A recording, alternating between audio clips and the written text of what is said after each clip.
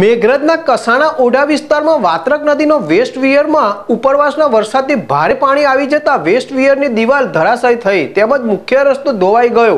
ગામજનોની અવરજવર બંધ. મેઘરજના કસાણા પાસે આવેલ ઓઢા ગામમાં બસો પચાસ ઘરની વસ્તી રહે છે.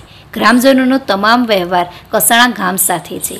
ઓઢા ગામના બાળકો અભ્યાસ માટે તેમજ ગ્રામજનો બેન્કિંગ કામ હોય તો દર્દીઓને બીમારી સમયે કસાણા ગામ જવું પડે છે. ત્યારે કસાણા જતાં વચ્ચે વાત્રક નદીનો વેસ્ટ વિયર આવે છે.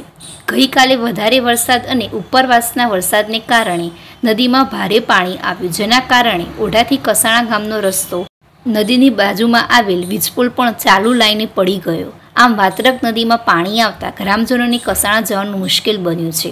ત્યારે ગ્રામજનોની આ તૂટી ગયેલ રસ્તો નવો બનાવવા તથા નદી કિનારે નવી દિવાલ બનાવવાની માગ કરી છે.